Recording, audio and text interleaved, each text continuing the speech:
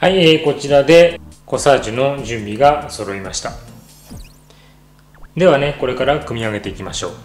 はい、えー、まず最初にこのね7かまどの紅葉を持ちます、えー、そしたらその紅葉に7かまどの実をねつけます。えー、そしてまた7かまどの紅葉を入れますね。でフローラーテープって割とこうベタベタしてるんでこうキュッと持つとこうくっついてしまいますね、え、これを利用してつけていきます。えそしたらここで先ほどのリモニウムですね。リモニウムを入れましょう。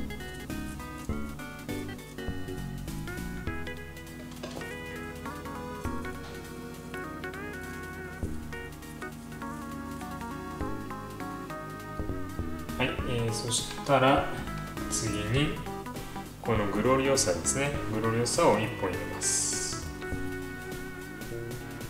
その時グロリオサのね角度はちょっとこう整えましょうね。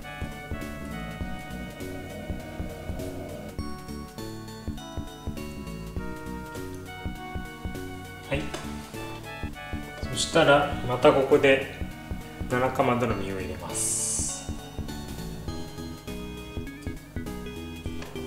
で次にまた来年の紅葉を入れますね。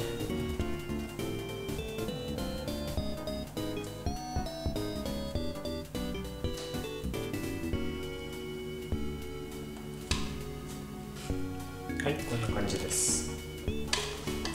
そして次にまたこのリモニウムを入れます。もうねこの繰り返しなんですよね。でもう一輪あったグロリオサですね。を入れます。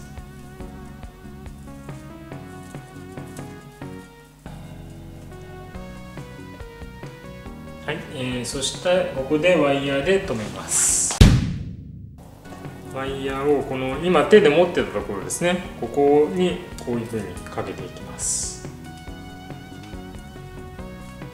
一周くるっと巻いたら一周くるっと巻いたら上にこの紐ワイヤーを上に引っ張り上げますねこうやって。キュッと。そうするともうこうやってビシッとくっついた感じになりますね。これで巻いていきましょう。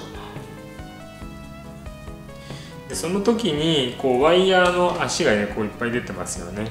でこうサージってやっぱり下が細い方がいいのである程度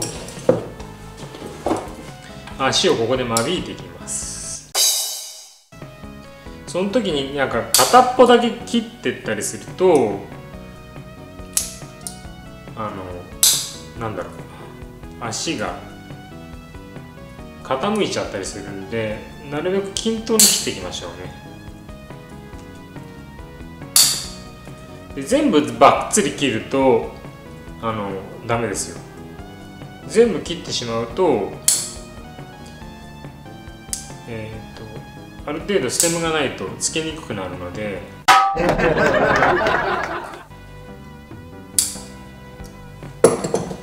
のぐらいかな。で下までこうワイヤーで巻いてこの上からテーピングします。ように下のステムがこう下に向かってね下に向かってっていうか一番下が細くなるような感じで足を間引いていきます。でこの状態になったらここもフローラーテープで巻きます。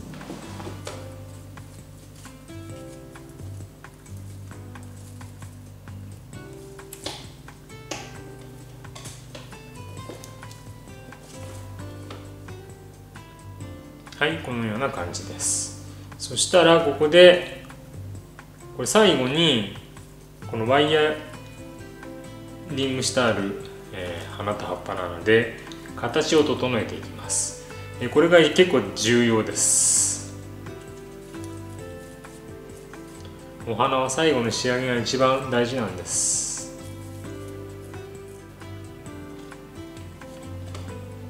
はいできました。ではちょっとこの時点でね白いところ白いバッグに置いて見てみましょう。